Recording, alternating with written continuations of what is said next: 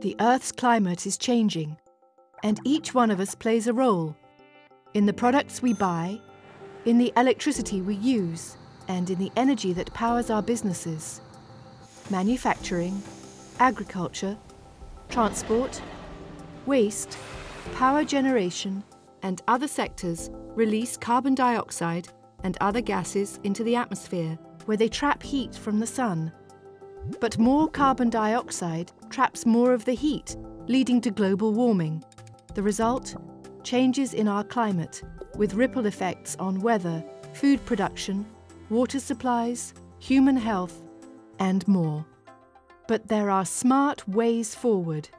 These include emissions trading, which is the cornerstone of the European Union's strategy to tackle climate change head on.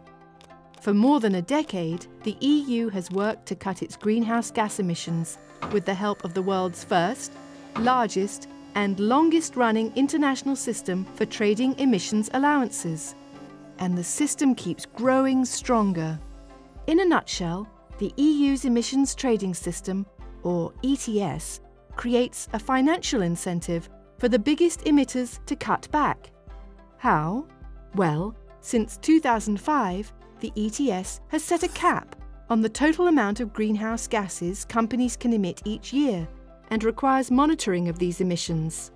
A fixed number of allowances, which are the currency of the carbon market, are issued, and each year companies hold enough allowances to cover their emissions or face significant fines. Don't have enough? Cut your emissions or buy extra allowances from another emitter. Have extra allowances? Keep them for next year or sell them. This flexibility ensures that emissions are cut where it costs the least to do so. Over time, the cap is reduced, fewer allowances are issued, techniques to cut emissions are developed, and total emissions drop. Companies have a financial incentive to cut their emissions, or pay others to do so. Today, this cap and trade system covers around half the EU's emissions and more than three quarters of the international carbon market.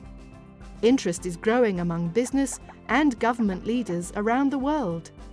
The EU's ETS proves that putting a price on carbon is possible and makes economic sense. This flexible, cost-effective and business-friendly approach is helping the EU move faster toward a low-carbon, greener future.